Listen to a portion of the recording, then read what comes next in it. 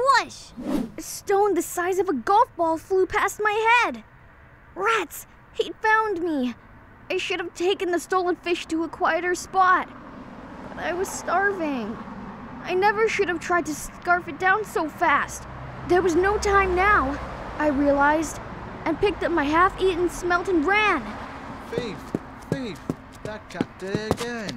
I could hear the voice coming closer. The rock missed again. Worse aim than the first one. At least he wasn't going for my legs. Those were the worst.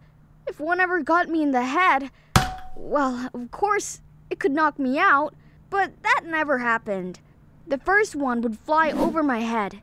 The second time, they'd try to aim better. But they wouldn't put as much power into it. If the first one hit my legs, I could still limp away. But I'd be an easier target, and then the next rock could be lethal.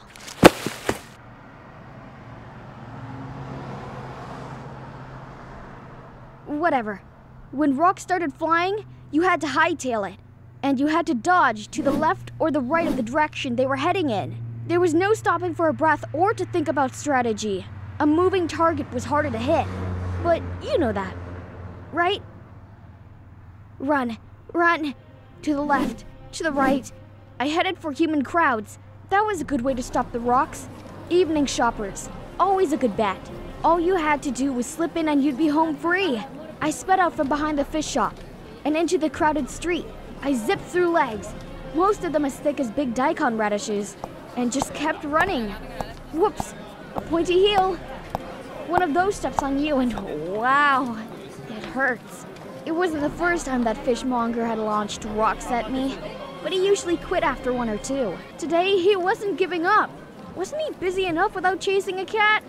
Must have hit a nerve today. I could just turn the corner at the flower shop. There was an alley with a fence at the end of it. And beyond the fence, lots of places to hide. I mean, it wasn't my house or my garden, but you know us cats. Your yard is my yard. The whole town is our yard. But that's enough talk for now. It was time to make a dash. Took a wide right and almost ran into a bucket from the flower shop.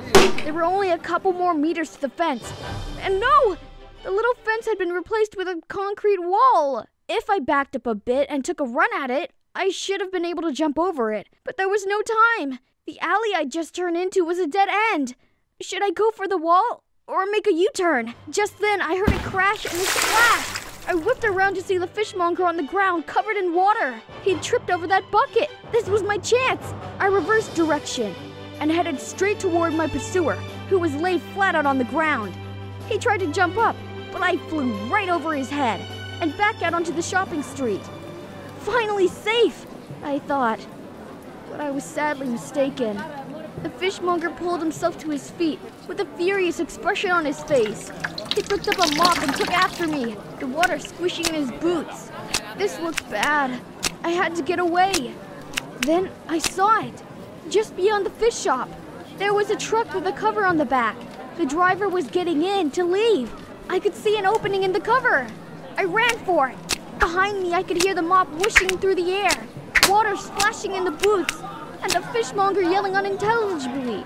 It was three meters to the truck. The engine revved up. Two meters.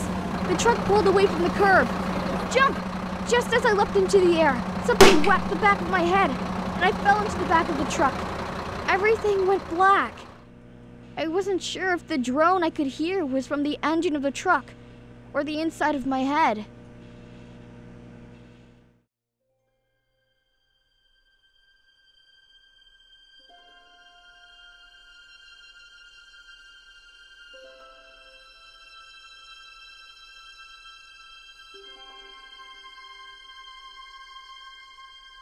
Thank you.